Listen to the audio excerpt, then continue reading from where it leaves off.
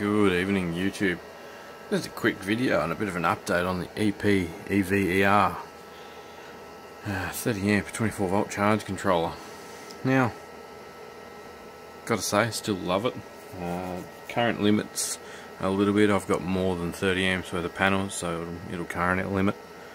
Um, I'm upgrading to a bigger MPPT, probably a 60 amper, but that's what I want to show you. 50 kilowatt hours. We are already up to 50 kilowatt hours through this little beast. Isn't that amazing?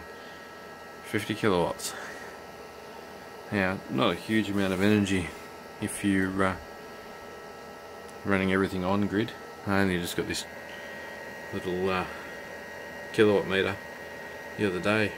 So uh, that's 5.4 kilowatts just running these four sets chargers um, off that old inverter. And at some stage when we get, look if we get a thousand kilowatt hours out of the inverter one day, I will uh, buy a whole whole system. And go Victron on everything. Those cables there, and just run the light bar over the bench off the uh, loadout on this. So we've run 3 kilowatts out of the loadout on this. I have been using the loadout on this to run a LiPo charger. So doing, you know, DC DC charging. Um, sometimes runs the fan as well. The fan just blows a bit of airflow through here when this is charging real hard at 30 odd amps. I think it pulls about 0.3 of an amp when this is charging hard. Uh, aluminium backplane, so uh, not only does it have its heatsink fins there, it also can dissipate a bit of that into the aluminium of it, I would imagine. Um, yeah, good thing. Works really well.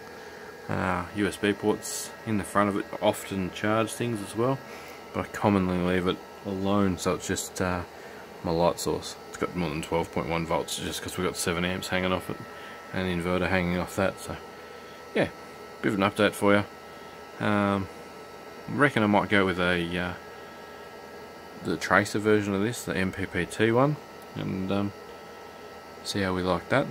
But uh, short video I know, wanted to show you is 50 kilowatt hours, I think that's a bit of a milestone. 50 kilowatts of off-grid free power. So, uh, but 50 kilowatts in uh, some countries is quite expensive, in others it's really cheap. That's, uh, here it's about 28 Australian cents per kilowatt hour, so it gives you a bit of a reference. Thanks for watching guys, catch you on the next video, got some more cool stuff coming. Cheers.